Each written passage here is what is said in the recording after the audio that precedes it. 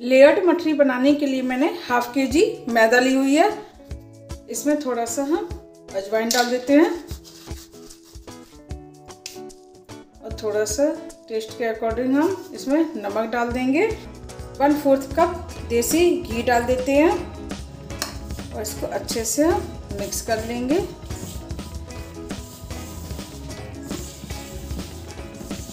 ये देखिए, हमारा मोइन बहुत ही परफेक्ट बन करके तैयार हो गया है। इस तरीके से लड्डू बन रहे हैं। तो इसका मतलब है कि हमारा मोइन अच्छी तरीके से लग गया है। अब हम इसमें थोड़ा थोड़ा सा पानी डाल करके मैदे को गूद लेते हैं। हमारा डो बन करके तैयार हो गया। चलिए, अब हम इसको कम से कम 20 मिनट के लिए रेस्ट करने के लिए रख देते हैं, जिससे हमारा जो डो है वो अच्छी तरीके से सेट हो जाए। चेक कर लेते हैं। ये देखिए, हमारा डो है, वो बहुत अच्छी तरीके से सेट हो चुका है। हाँ मैंने जो पेस्ट तैयार किया है, अब हम इस पर इस तरीके से स्प्रेड कर देंगे। मैंने घी और मैदे का एक पेस्ट तैयार कर लिया है, वो हम इसमें स्प्रेड कर देंगे।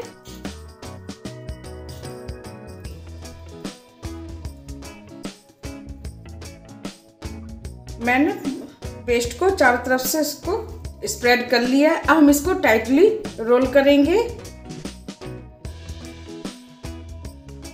नाइफ की सहायता से कट कर देंगे और छोटी छोटी सी लोइयाँ तैयार कर लेंगे।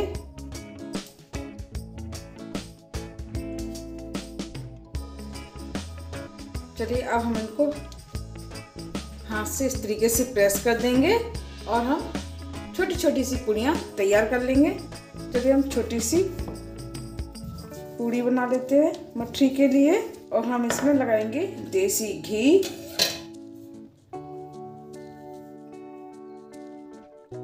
और जिस उंगली से मैंने देसी घी लगाया है, इसके साथ वाली उंगली से हम इस तरीके से प्रेस करेंगे, जिससे हमारी जो उंगली वाली घी है, वो उस पर इफ़ेक्ट ना हो।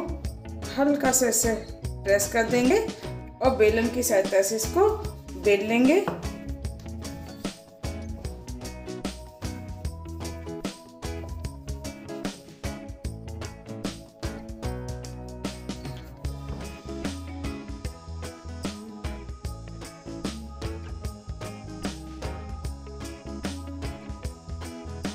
चलिए हम वन बाई वन करके इसको गरम ऑयल में डाल देते हैं। अब हम अपनी मठरी को लो फ्लेम पे ही डीप फ्राई करेंगे, जिससे हमारी जो मठरी है वो बहुत ही ज़्यादा क्रिस्पी बन करके तैयार होंगी। मठरी में एक साइड से कलर आ चुका है, चलिए हम इनको टर्न कर लेते हैं और दूसरी साइड भी कलर ले लेते हैं। ये देखिए हमारी लेयर्ड वाली मठरी में कलर बहुत ही अच्छा आ गया है। चलिए अब हम इनको एक प्लेट में बाहर निकाल लेते हैं।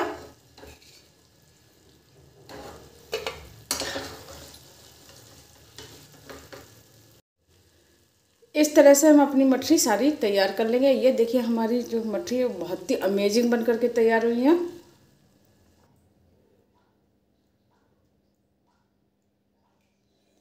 इस प्रकार हमारी होली स्पेशल मल्टी लेयर्ड मठरी बनकर के तैयार है। आप लोग इसको अपने अपने घरों में ज़रूर ट्राई कीजिए। यकीन मानिए आप लोगों को मठरी बहुत ज़्यादा पसंद आएगी। Thank you happy cooking